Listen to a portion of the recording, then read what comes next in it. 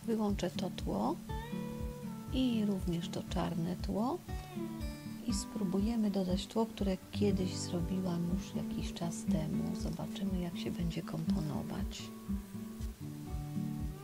Nie, za bardzo naćkany.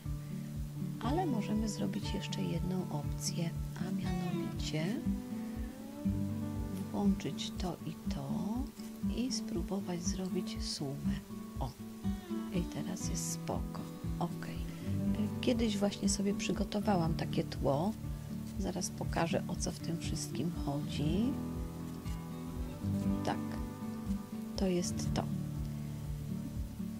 I jeżeli do tego dodam to tło, które było tutaj, czyli włączam jedno i drugie, to tu mam różne tryby. W tej chwili, jak dam sumę, to wychodzi mi taki kolor, który podłożyłam pod nasze docelowe projekty. Natomiast mogę tutaj na przykład sobie stworzyć inne tło na bazie tych dwóch jakby elementów, y, bawiąc się po prostu różnymi trybami. Jeżeli bym dała przenikanie, to wtedy mam takie tło. Jeżeli kliknę wycieranie, no to puste się robi.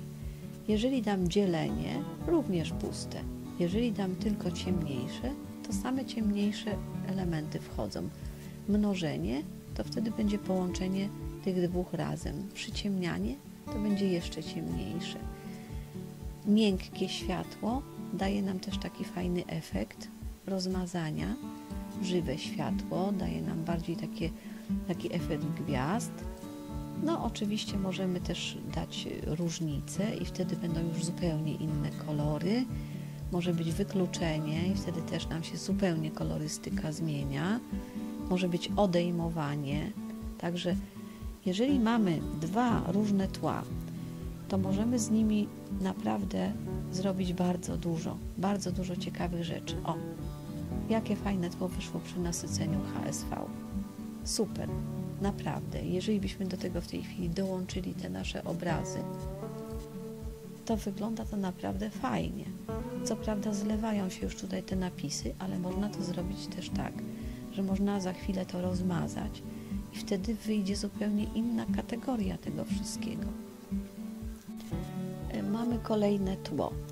Wybierzemy sobie tak na podkład takie tło i jako startowe takie tło.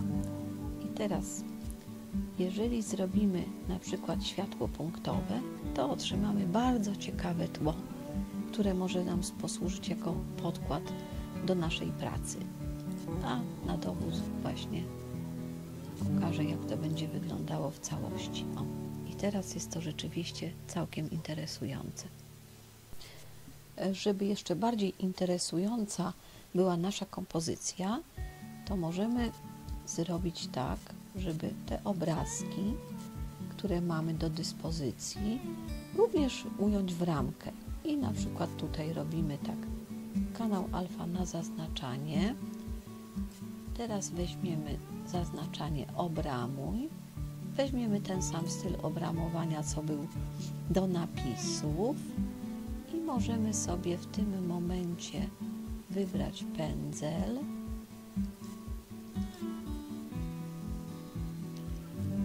Oczywiście kolor.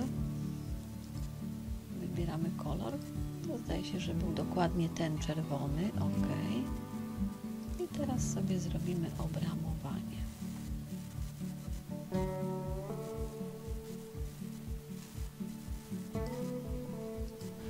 Zobaczymy, jak to wygląda na powiększeniu.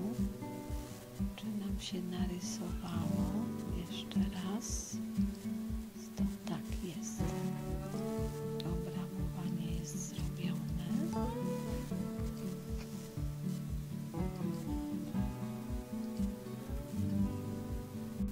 Podobnie postępujemy z kolejnymi obrazkami.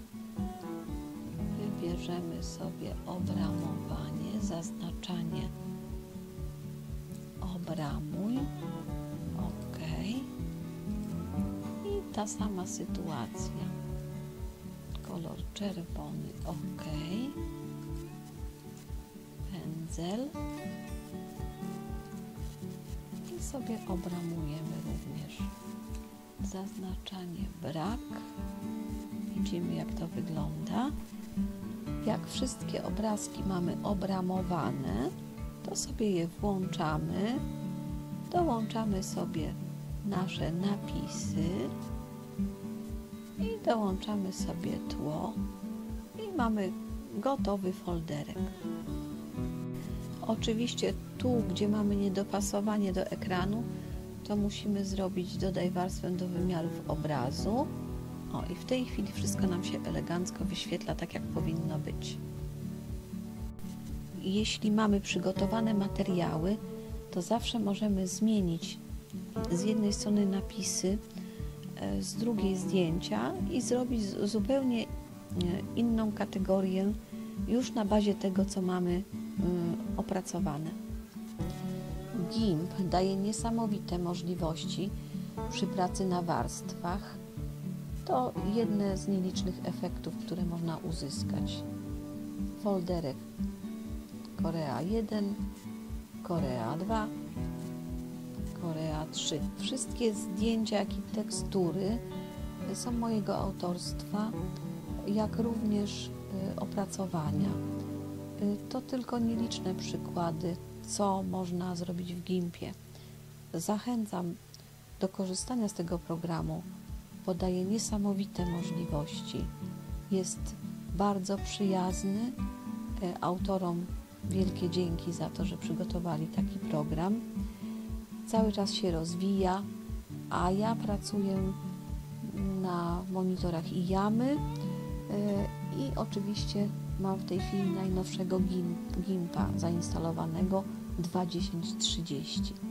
Dziękuję za uwagę. Jeśli Wam się podobało, to proszę o subskrybowanie mojego kanału. Będę umieszczała również inne swoje prace i pokazywała, co można zrobić w GIMPie. Dziękuję za uwagę.